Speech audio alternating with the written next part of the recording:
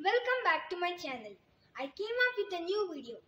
In India, I got to know about Dr. Rajendra Singh.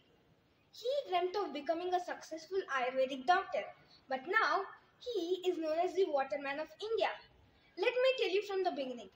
In 1984, while working in Rajasthan, Dr. Singh came across a problem of water crisis in the remote areas. Saw many people suffering from illnesses due to the lack of clean water.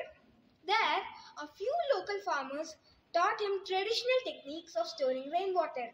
By combining these techniques with his knowledge of science, he created crescent-shaped structures called as johads. Johads not only store rainwater but also increase the flow of underground water. This is me, Dhruva, signing off.